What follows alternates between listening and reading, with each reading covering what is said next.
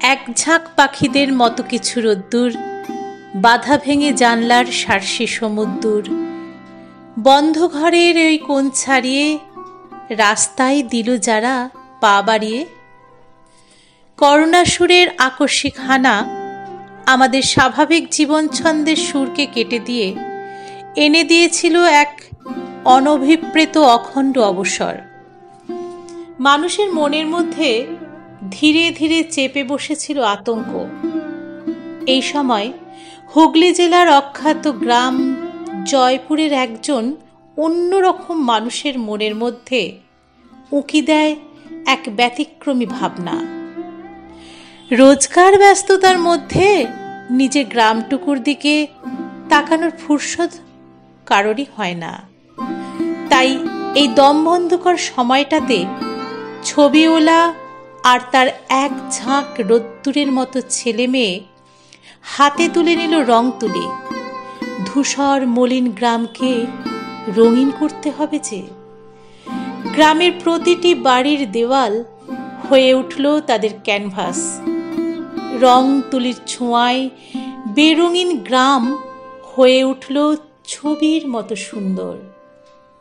দুঃখ জর্জর সময়ের মুখে ছাই দিয়ে পোতা হলো খুশির পতাকা। সেই অনামি হ্যামলিনের বাঁশিওলা, থুরি, আমাদের ছবিওলা হলেন অতনু, শুধুই অতনু। শিল্পীর কোনো জাত হয় না যে। চলুন, আমরা ঘুরে আসি সেই গ্রামে।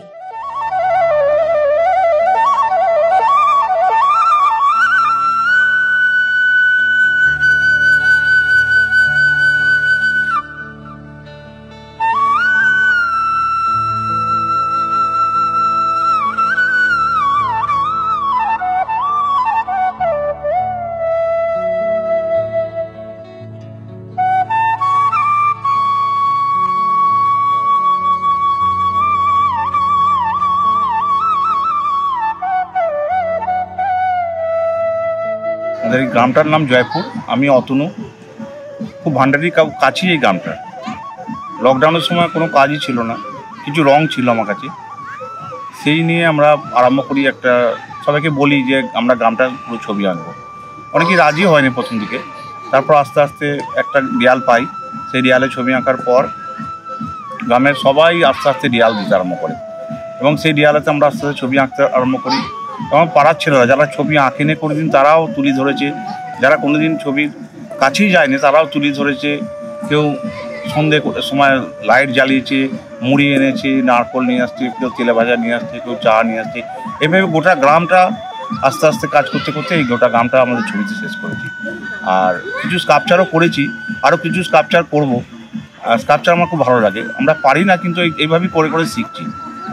আর আরও কিছু করার ইচ্ছা আছে। আসলে এই দেয়ালটা করার একটা কারণও ছিল। আমাদের এই দেয়ালগুলোতে কেউ কোনো রাজনৈতিক পোস্টার থাকবে না, কোনো রকমভাবে নোংরা লেখা থাকবে না, আর গ্রামটা আস্তে আস্তে পরিষ্কার সুন্দর হয়ে উঠবে। এইটা আর একটা হচ্ছে, এরমভাবে যদি গ্রামগুলো যদি আস্তে আস্তে সাজাতে থাকে বা এভাবে করতে তাহলে প্রতিটা গ্রামই খুব সুন্দর হয়ে উঠবে।